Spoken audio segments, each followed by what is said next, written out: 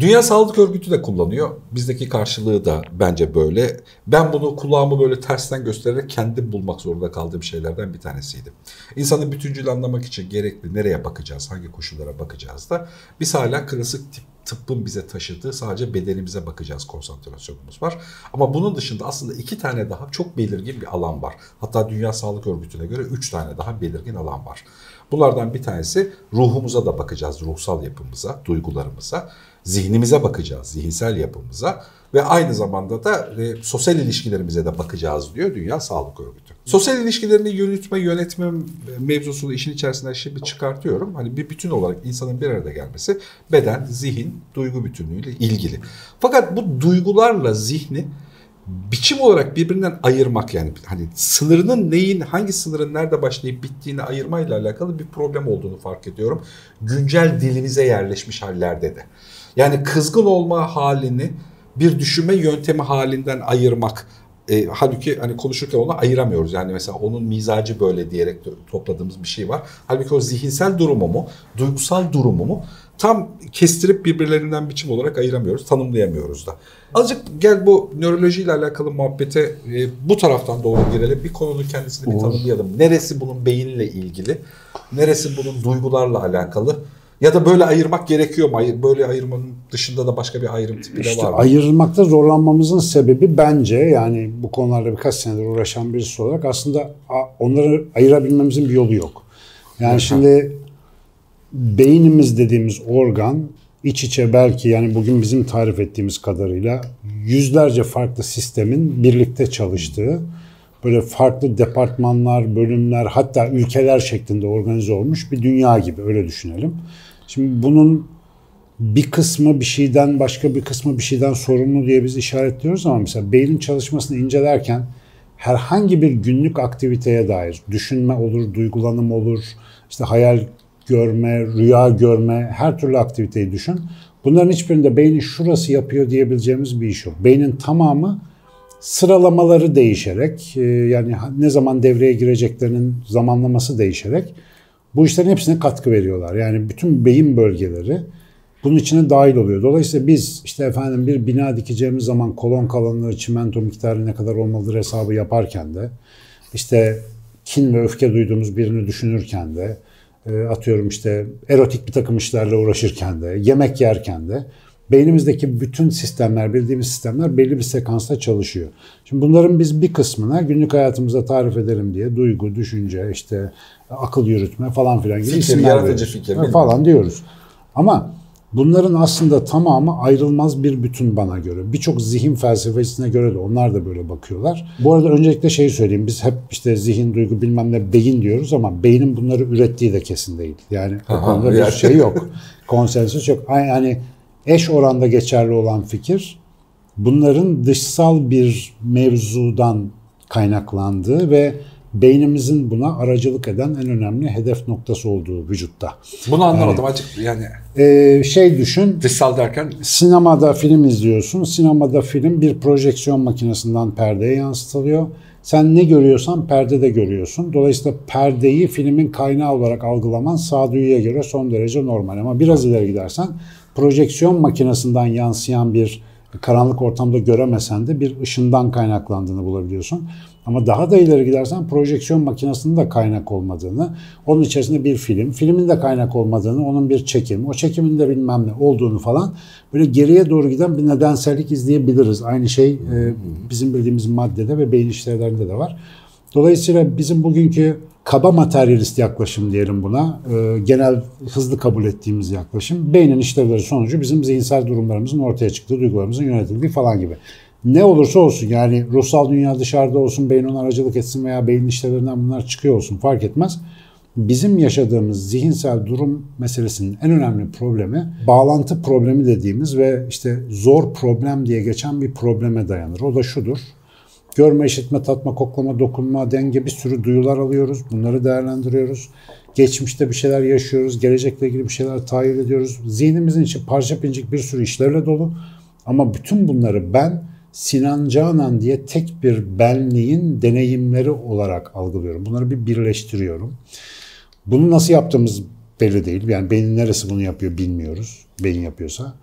Ve artı mesela onun içerisinde ben düşünürken duygusal dünyamdaki çalkantılar mantığımı, mantığımla kurduğum e, fikirler, duygularımı, onlar benim işte geçmiş anılarımı, gelecek tahayyüllerimi her şeyi aynı anda etkiliyor. Yani aynı zamanda kendi içinde birbirini çok etkileyen karmaşık bir sistem var. Ama burada şöyle bir durum var ya araya gireyim. Yani bu, bu dönemi çok belirleyen bir durum. Ee, birinci adımını psikolojiyle beraber attı. Biliyorsun yani tüm dünyayla beraber Türkiye'de artık herkes bir psikolog. Yani Hı-hı. tüm hayatımız artık psikolojiyle alakalı bir ana bakış açısının içerisinde. Evet. Duygularımızı anlamaya çalışıyoruz. Her türlü şeyi geriye dönük çözümlemeye çalışıyoruz. Hiç ummadığımız insanlar gidip psikanalist e, çalışmaların içerisinde yer almayı tercih ediyorlar. Yani hiç ummadığın e, seviyedeki evet. hayatını yaşayan insanlar falan. Bunu negatif bulduğum bir şey değil bu. Ama yani şöyle gücünün ya da ne kadar popüler olduğunu anlamak açısından yani izlediğimiz dizilerin yazarları artık psikolog. İşte yakında büyük ihtimalle Zamanın yönetmenler psikolog odağı olacak. diyelim. Bu zamanın evet, odağı bu. Evet yani. evet yani bir bakış açısı durumu bu. Hı hı. Şimdi bu psikolojiyle beraber baktığımızda da bu bir ayrımlar mesela eskiden moralin bozuk cümlesinin yerine artık depresyon. Hatta depresyonun 5-6 çeşidi 7'si falan. Bunlardan bir kısmı haplı, hapsız bir şeylerle falan geçirilebilen. Haptan kastım da antidepresan. geçirilebilen hikayeler. Bunlar hep tanım tanımlar gerektiriyor tanımlayabilmek için de sınırlamalar hmm. hani parçalayıp hani bir bölüme almak gerekiyor ya bir tarafta. Hmm. Eskiden ben dediğimiz ya da işte sadece lan galiba deli ya da akıllı diye ayırt ettiğimiz grubun kendisi. Şimdi deli diye bir tanım kalmadı mesela bu çok Yok, tabii. enteresan değil mi? Tabii. 1980'lere kadar felsefi olarak konuşmanın içerisinde delilik kavramını bambaşka yerde kullanıyorken şimdi deli diye bir tanım yok. Psikolojiyle beraber tanımlanmış alt psikiyatrik bozukluklar, bozukluklar var. var. Onlar bir hastalık artık. Yani o delilik gibi felsefi e, yani dünyayı başka yerden algılayan insan falan durumu değil. Yani bayağı bildiğin o bir rahatsız, bozukluğu olan ya da sıkıntıları olan birisi. Şimdi aynı tür kazımanın ya da aynı tür tanımlama çabalarının zihinle alakalı olduğunu da düşünüyorum. Hatta iddialı bir öngörüde bulunayım. Bir 20 yıl sonrasında da psikolojinin bu popülaritesine çok benzer bir popülaritede zihinsel hastalıkları yani zihinle alakalı pozisyon sadece nörolojik değil yöntem yani zihnin düşünürken ki kullandığı evet. yöntemsel formlar için. Kritik düşünme bozukluğu bozuklukları mesela. gibi. Bravo çok güzel. Yani hani sonradan edinin mesela hatalı burada, öğrenilmiş burada bir... bugün var o bugün var. Çok yaygın bir hastalık yani. O bence, bence de tabii canım. Hasta dediğimiz bir sürü hani biz kendi aramızda geyini yaparken hasta dediğimiz bir sürü geyik aslında o, bu Tabii. bölümle alakalı bir şeydi. Böyle bir şey de ayrışacakmış gibi görünüyor. Tabii. Gittikçe daha yüksek çözünürlükte bakmaya çalışıyoruz. İyi ya da kötünün dışında da hani olayı anlayalım ya da bütün olarak görelim diye. O yüzden bizim benlik dediğimiz şeyin ne kadar beyinde, beyin değil de vesaire de ayrı ama yine de bu konunun zihinle ilgili olanlarıyla, psikolojiyle ilgili olanlarını birbirinden ayırabilmek için bir renk atamasına sanki bir tavır atamasına ihtiyaç var ya bak gibi oradaki geliyor. sorun şu. Şimdi psikolog var, psikiyatrist var değil mi? Evet. Şimdi arasındaki tanım ne desem, yani sokaktan geçen insan için hepsi zihinsel sorunları olan insanlarla uğraşıyorlar. Yani kafalarında ha. problem olan birilerine bakıyorlar. Ama biraz daha zorlasam, e, yani genellikle halk arasında şöyle bir şey biliniyor artık. Psikolog işte dinleyen, terapi yapan, yol gösteren, psikiyatrist ilaç yazabilen versiyon diye anlaşılıyor. İşte işin garibi profesyoneller arasında da bunların ayrımını tam bilen yok. Yani tıp fakültesi mezunu olup da ruhsal hastalıklarla uğraşanlara psikiyatrist diyoruz. Onlara çeşitli işte farmakolojik maddeleri insanlara reçete edebilme şeyi veriyoruz. Yetkisi. yetkisi.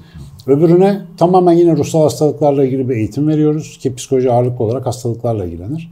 Onlara da bu yetkiyi vermiyoruz da sen işte bir takım analiz, terapi bilmem ne yöntemleriyle bunu yapabilirsin diyoruz. Şimdi buradaki ayrımımızın bile hiçbir tanımlamaya dayanmadığı, tamamen keyfi ve kültürel alışkanlıklara bağlı olduğu çok açık biçimde gözüküyor. Yani bir psikiyatristi bir psikologdan ayıran ya da onu öbüründen ayıran şeyi listele desen birçok insan burada başarısız olur. Çünkü düşünülerek yapılmış kağıt üzerinde bir ayrım değil. Şimdi bunu haklı çıkarmak için, bak burası kritik. Bizim bu geleneksel alışkanlıklarımız, bunu her meslekte, her tabakada, sosyal bir sürü organizasyonda da görürsün benzer bir şeyi.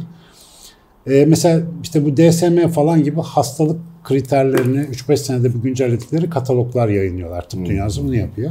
Şimdi bu kataloglar bu alanları özellikle meşgul tutmak, onların faaliyetlerini daha ölçülebilir, işte kötüye kullanım ya da mal praktis dediğim şeye en az imkan verecek şekilde tanımlamaya ve algoritmalara dökmeye çalışıyorlar. O yüzden mesela oturuyorlar atıyorum eşcinsellikten intihar eğilimine kadar her şeyi düşün tamam Masada bir sürü mevzu var. Diyorlar ki biz bu DSM'nin işte atıyorum 4. 5. versiyonda şunu şunu şunu bu nedenlerden dolayı hastalık olarak sayıyoruz ama önceki versiyonda bulunan şunu şunu hastalık olmaktan çıkarıyoruz. Onun yerine bir tane çıkarıyoruz 5 tane yeni hastalık koyuyoruz falan gibi.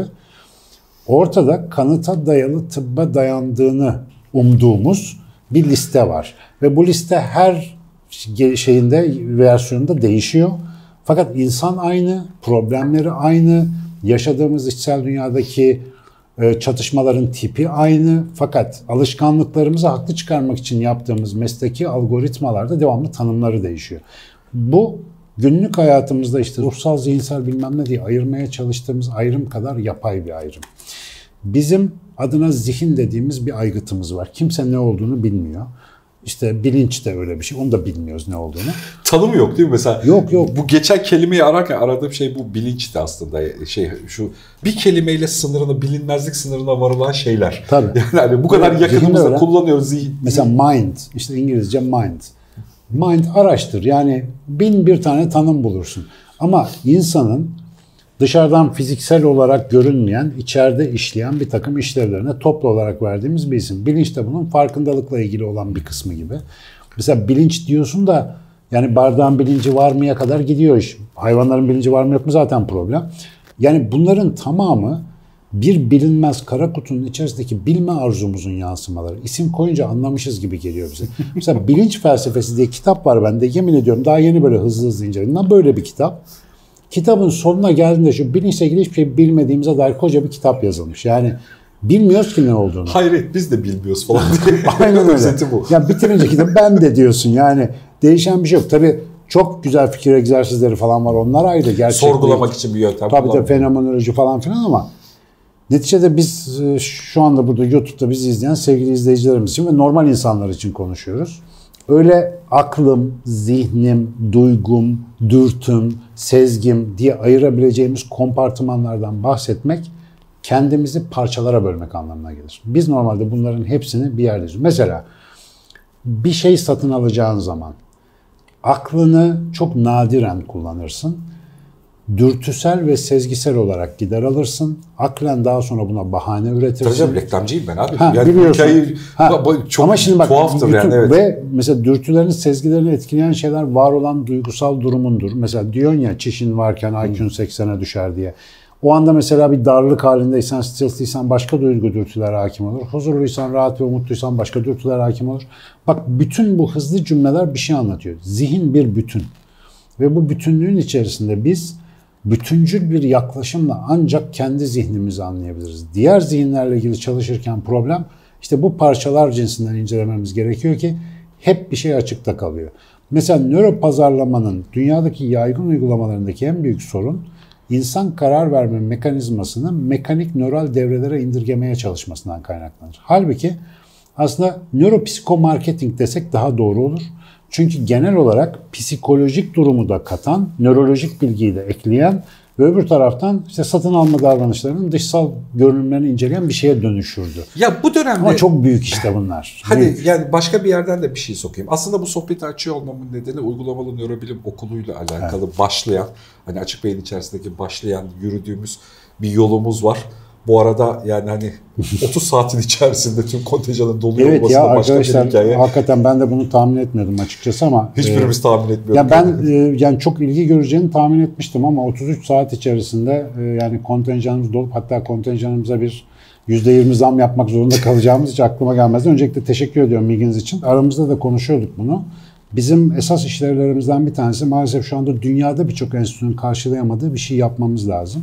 Evet. O da işte burada konuştuğumuz mevzuları sağ olsun şu anda neredeyse 300 bine yakın abone. En fazla izledikleri program önce Can sonra Canan. Diğer bizim bütün programları da çok güzel takip ediyorlar. Niye takip ediyorlar? Nörobilimle yani temel olarak nörobilim tabanında bir şeyler anlatıyoruz biz burada. Ve hayatta birçok yerde işe yarıyor nörobilim. Şimdi e, farklı açılımlar da getiriyor. İnsanlara başka bakmaya sebep oluyor. Tabii sadece nörobilim değil. Yani biz bunun içine başka şeyler de katıyoruz. Yorumlarımızı katıyoruz. Bu uygulamalı nörobilimin yapmaya çalıştığı şey dünyada. Birkaç tane kürsüsü var Applied Neurosciences diye. Ve maalesef Türkiye'de henüz böyle bir uygulama alanı yok. Sadece belli fakülteler, belli yüksek lisans doktora programları içlerinde nörobilimi kullanabiliyorlar. En çok görüleni nöropsikoloji mesela. Ama nöro getirebildiğiniz başına her kelime aslında potansiyel olarak yeni bir çalışma alanı. Beyinle ilgili çalışmalar bugün insanla ilgili her şeyi ilgilendiren sonuçlar verdiği için birilerinin de açık beynin bunu bir müfredata dönüştürüp insanlara önce sıfırdan orta ileri düzeye yani okur yazarı olacak kadar nörobilim öğrenmelerine imkan vermesi, sonra da o insanların kendi çalıştıkları işte beşi birbirine benzemez farklı alanlarda o bilgiyi nasıl hayata dökebileceklerini anlatması lazım. Uygulamalı nörobilimin zor kısmı burada. Ee, biz bu müfredatı mesela hazırlarken ya şimdi gelecek arkadaşlara baştan söyleyeyim buradan bizi izleyen varsa yani bazı derslerde hani esnemekten ağzınız ayrılacak çünkü ağır mevzulara gireceğiz. Çünkü bu bir nörobilim okulu yani temelde nörobilim öğreniyor olacağız. Ama bu ağır mevzulara girmemizin sebebi bu iş bittikten sonra falanca deneysel yöntemi tasarladığında o hayal gücünle o bilgiyi oraya koyman gerekecek ki resim tamamlansın. Bugün buna bir ihtiyaç var. O ihtiyacın yansımasını Türkiye'de de bu kadar hızlı görmek çok güzel bir şey. Evet yani. Yani pat diye insanlar zaten bekliyorlardı beni çok e, sen de biliyorsun devamlı hadi gayrı hadi gayrı falan. Bir senedir falan bunu planlıyorduk. Bir de pandemi hızlandırdı. Çünkü bundan önce online eğitime çok alışkın değildik hiçbirimiz. Evet. Ama bakalım inşallah güzel bir organizasyon olacak. Bakalım sonucunda neler çıkacak. Ya iki ayrı tarafı daha var hikayede. Bir tanesi şu multidisipliner olma mevzusuyla ilgili birebir karşılığına geliyor aslında. Yani hani bu dönemin gerçekten çok kapsayıcı yöntemlerinden bir tanesi nörolojiyle alakalı düşünüyor olmak ama bunu multidisipliner olarak çeşitli branşlarla iç içe tekrar sorgulamaya bir fırsat veriyor. Bir başlangıç oluşturuyor olacağız e, birinci aşamada. Evet. İkinci aşamada konu felsefeyle alakalı aslında oraya bağlayacaktım mevzuyu. Yani bu dönemde bilimin hani başka bir sürü adam daha konuşuyor ama aynı şeyi hissettiğim için söylüyorum. Felsefeye çok ihtiyacı var gibi görünüyor. Hatta felsefeden bir adım daha ileri götürüp bunu kadim bilgiyle de e, sorgulatır ya da denetletir bir alanda tutmayı seviyorsun ya da bununla evet. ilgili bundan da eğleniyorsun. Hani ben onu bir adım daha geride tutayım. Felsefi sorgulanabilir. Yani nasıl biliyorumun üzerinden başlayıp işte nasıl bileceğim ya da öğreneceğimle ilgili sorgulara ihtiyacı var gibi gözüküyor. Hemen her bilgi. Evet. O yüzden o multidisipliner hale getirip tekrar bakma yani psikoloji ve nöroloji herkes kendi odasına kapıp bizde öyle ya bir şey tanımladıysak bu bizim sizi ilgilendirmez. Yani nörolojiyle alakalı öyle, psikolojiyle alakalı öyle. Birçok hastanın bu ikisi arasında zikzak çizdiğini, hastalık seviyesinde çizdiğini biliyoruz yani. Tabii. Tecrübesi de öyle hikayenin. Halbuki bunu ikisini bir araya getirip tekrar sorgulama. Hatta üçünü bir araya, bedeni de bir araya getirip yani bedendeki ola gelen şeyleri de bir araya getirip sorgulamaya tekrar ihtiyaç var gibi görünüyor. Fakat işte tanımlar tanımlar oturmadıkça dilimiz de oturmuyor. Hani konuşuyorken de bizim o işin neresi zihinle ilgili, neresi düşünme yöntemiyle alakalı, neresi duyguyu yönetmekle, duyguyu denetlemekle alakalı, neresi bedenle ilgili olduğu bölümü karışıyor. Ya adamın çişi geliyor, sinirleniyor ve işte çişi gelme kültürü işte başka bir kültüre ait olduğu için falan düşünme yöntemi de şöyle oluyor falan gibi işi için karışıyor. Biraz geriye dönüp ayıklama mevzusuna da ihtiyaç oluyor. İşte strese girdiğimizde regrese oluruz diye bir şey var yani. geriye döneriz çocukluk dönemimize falan. Ya bunu bunlar mesela hep bildiğimiz şeyler ama işte günlük işte işte bunların hepsini bütüncül olarak ele almak zor. Mesela bazı bilgiyi çok Hı, özür dilerim. Mesela. Örnekleme açısından da bazı bilginin e, işlenme biçimi birebir zihinle alakalı. O, yani örnek vermek gerekiyor olabilir arada. Mesela bazı bir bildiğin temel bir bilginin homojen olduğunu zannetme bir zihinsel aksaklık. Bunun duyguyla bir alakası yok. Bu sadece yanlış bilgi de değil. Bunu bilgi olarak edinmedik. Bir zan, bir zihinsel zan edindik. Yani işte atıyorum sen diyelim ki 140 IQ'ya sahip bir insansın. Hayatın her yerinde 140 IQ'ya sahip olduğunu homojen zannediyoruz. Ya da sen anneni seversin. Hayatın her yerinde stabil hep anneni seviyorsun homojen olarak. Halbuki öyle değil. Mesela bu bir yanılgı. Hayatının bir sürü yerinde annemize kızıyoruz, seviyoruz da kızıyoruz da bilmem ne falan. Ya da işte hayatımızın bir yerinde o çiş örneği de onunla alakalı. 140 IQ'da da değilsin. Bazı yerlerinde de 170 sıçraması yapıyorsun. Evet. Çok yetenekli bir şey gösteriyorsun. Mesela bu bilgi zihinle ilgili bir bilgi. Yani psikolojiyle ya da bedenle alakalı bir durum değil gibi. Bunun gibi çok Aslında örnekler. alakalı işte. Yani çişi gelen beden. Ha, yok yani, bilgi olarak hani. Ha, ama işte o, onu oraya bağladığın zaman yani sistemi bir bütün olarak göremediğimiz için dediğin gibi o stabil evet. algılama ya yarıyor. Bak biraz önce bir tabir kullandın aslında onu da buraya kayda geçirelim. e, interdisipliner dedim, multi, multidisipliner dedim. Hı hı. Aslında üç tane terim var bak. Önce multidisipliner, sonra interdisipliner, sonra da cross disiplinler diye üç tane tabir var. Şimdi bunları gittikçe daha iyi öğrenecek akademisyen adayları. Çünkü mesela multidisipliner dediğimiz şey X bir hastalığın çözümü için hani tıp fakültesinde hematolog, onkolog, efendim ne bileyim histolog bilmem ne farklı branşlardan birileri bir araya gelip çalışıyorlar ya o hastalığın değişik yöntemlerini.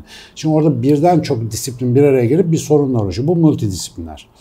İnterdisipliner olanlar mesela kaos teorisi interdisipliner mesele. Çünkü fizikçi istiyor, mühendis istiyor, biyolog istiyor. Farklı bilim alanları bakmadan çözemeyeceğin disiplinlerin arasında kalan, inter o anlama geliyor zaten, arasında kalan konu. Nörobilim ise cross disipliner bir konu. Şemsiye gibi. Altında bir sürü bilim dalı var. Hepsine bir bacak uzatıyor ve bu bilim dallarının çalışma prensiplerini değiştiriyor. Şimdi nörobilimin bu kadar havalı olmasının sebebi o bu devirde. Cross disipliner çalışma alanları genellikle böyle büyük bilginlerin, polimatların falan ortaya attığı sorunlardan falan çıkıyor. Tarihte az sayısı. Ama mesela nörobilim artık böyle bir alana döndü. Kapsadığı yer itibariyle. Ama tehlikesi ne?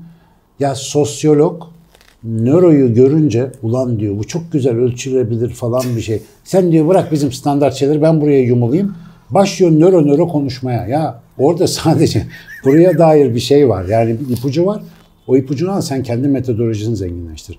Ya mesela bir mimar, mesela nöro mimari diye bir alan var. İşte biz sonuna doğru bunları tartışacağız onun. Mesela diyelim 30 yıllık son derece başarılı bir mimar düşün tamam mı? Ödüllü müdürlü eserler yapmış. Sonra yeniliğe de açık bir insan. Nöro mimar diye bir alan keşfediyor.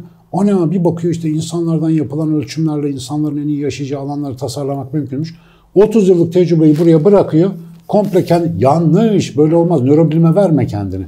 Nörobilimin bu konuda söylediklerini tecrübene kat. O bilimin, o alanın, o sanatın tecrübesiyle harmanla.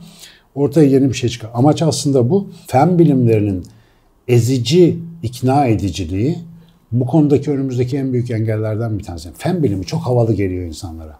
Yani sosyal bilimcilerin hepsi fen bilimci gibi davranmaya çalışıyor. O da sosyal bilimleri bitiriyor farkında değiliz. Sosyal bilimin esas işi zekice, felsefi ve kalitatif yorumlar yapabilmek. Ama onu da sayısallaştırma, dataya indirgeme bilmem ne o tadını kaçırır yani. Uygulamalı nörobilim nörobilimi yerince ve yeterince anladıktan sonra kendi, kendi alanında uygulama meselesi. Şimdi aynı sorun aslında yani böyle bağlamamıştım ben biz konuşmadan önce ama günlük hayatımızda da var.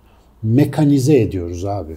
Yani zihni parçalara bölüp böyle işte karbüratör, benzin ortamı, gaz teli falan gibi algılama eğilimindeyiz. Öyle değil. Ben mesela beynin üç katını anlatıyorum. Her eğitimde hemen hemen vardır. Ama hep sonunda bir cümle söylüyorum. Arkadaşlar üç tane diye anlattım ama beynin katlarını. Bunlar hep beraber çalışıyor. Bu bir orkestra. Yani davulu var, zili var, tumbası var, efendim fagotu var, her şeyi var yani. O sistem beraber çalışınca müzik duyuluyor. Yoksa biri bir yeri bir işlevde daha önemli. Efendim, müziğin ana melodisi sadece kemandan çıkıyor. Böyle bir şey diyemeyiz. Yani Mesela hala ben bunu geçerli. yöntemsel olarak bak e, bir şeyde bunun mekanik dönemin bilgi edinme yönteminden kaynaklı böyle tabii olduğunu düşünüyorum. Buna yani biz hala diyoruz. mekanik bir bakış tabii. açısıyla baktığımız için onlara birbirleriyle komponenti yani birbirleriyle birleşen parçalar olduğunu düşünmeyi Tabii. istiyor zihnimiz. Halbuki öyle değil. O Abi, bir kimya. Bizim üretimimiz modüler ya. Biz Mesela nesneleri bir araya getirip işler bir bütünlük yapıyor. Taş baltada da böyle, buhar makinesinde de böyle, bilgisayarda da böyle. Silikon çipi biri yapıyor, öbürünü biri yapıyor. Getiriyorsun, takıyorsun Bak, oluyor. Ve o parçayı çıkarıp yerine başka bir şey taktığında sistemin tamamı değişiyor. Yani o başka bir e, aracman oluyor. Biz böyle şeyleri anlayabiliyoruz. Ama mesela tabiatta otopoietik sistem diye bir şey var. Kendi kendine üreten sistem. İşte cansız sistemler de var böyle işte siklonlar, miklonlar o havadaki gezen kaotik e, e, kaos fiziğinin araştırdığı şeyler bunlar genellikle. Ya bunlar mesela enerji kullanıyorlar. Aldıkları enerjiyi dönüştürüyorlar. Bir yapı ortaya koyuyorlar ve bu otopoietik sistemler kendi kendilerini idame ettirebilen sistemler. Bunları parçaları cinsinden düşünemiyorsun. Bu şey oradan geliyor. Bütün parçaların toplamından daha fazlasıdır meselesi var. Yani canlı için de aynı şey, canlı sistemler için de aynı şey. Mesela bir lavabodan dönerek akan su herkesin bildiği şey. Ya o siklonun bir yerini alıp da onu anlayamazsın. Onu bir bütün çalışan sistem olarak incelemen lazım.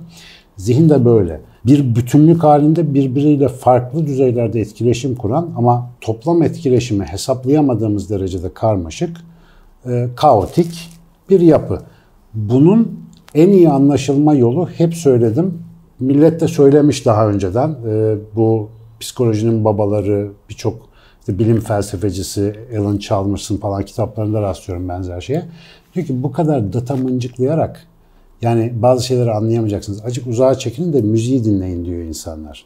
Ana örüntüyü, Örüntüyü görün. görmek, E, hareketi görmek. mesela Darwin'i bilim tarihinde açık ara Newton gibi bir yere oturtturan mesele bazıları kabul etmese de Darwin bilgisinin azlığı sayesinde moleküler biyoloji genetik olmadığı için o dönemde büyük çaptaki etkileşimleri izlemiş ve dünyayı gezmiş adam ve o büyük olayda oyunda bir örüntü yakalamış ve cesurca bir fikir ortaya atmış. Çok da üzerinde çalışmak zorunda kalmış emin olmak için. Ama hala 160 yıldır bak çürütmeye çalışıyoruz. Adamın yakaladığı şey hala geçerli. Niye? Büyük sisteme bakıyor. Biz bugün zihinsel problemleri, hayatımızdaki kişisel problemleri ya da sosyal problemleri çözeceksek veri önemli, bilim önemli. Bunlar parçaları anlamakta önemli ama bütünün işleyişindeki sorunu görebilmek için ancak o uygun mesafe. Bir tabloyu izlerken ki optimal mesafe diye bir şey var. 100 kilometre ileriden e, Mona Lisa'nın tadını çıkaramazsın. Mikroskopla da Mona Lisa'dan bir şey anlamazsın. Şu 3-5 adım geriden optimal mesafeden izleyeceksin. Böyle bir mesele gerçek bilge uzmanlığında bence temeli. Yani bilgece bir uzmanlık böyle bir mesafe istiyor gibi geliyor bana sanki. Yani öyle ya da böyle elbette insanla alakalı konuşacağımız her şey, her şey onun bir kokteyl olduğunu kabul edip bir bütün halinde ele alıp olmalı. Ee, yine Ha, de bu kokteyl konuyu güzel lan. Kokteyl bak. Evet. eskiden duygular için kullanıyordum bunu. Yani kokteyl bedenin e, yani bilgiyi kokteyle dönüştürüp saklar diye geyini yaptığım bir şeydi. Yani insanın geneli içinde kullanılabilir senin verdiğin bu bilgiler ışığında.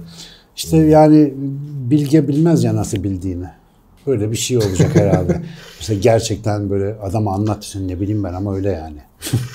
Böyle oluyor. Yine de yani önümüzdeki 100 yılın içerisinde konuşacağımız çok şeyden bir tanesi zihin ruhun Öyle. neresinde, zihin bedenimizin neresinde konusunu. Bu, bu arada şunu da söyleyeyim. Bir yerde çok haklısın. Bundan kurtulamayacağız biz. Evet. Benimki hoş temenni. Yani tamamen bir ne o? Yani öyle olsa keşke tarzı bir bakış. Ama pedagojik dediğimiz o parçalı öğretmenin dışında çok bir şansımız yok. Yani önce parça parça inceleyeceğiz. Sonra bütünü göreceğiz. Bu, bu beyin hikayesine azıcık daha devam edelim. Bu güzel konu. Ederim. beyin, beyin önemlidir arkadaşlar.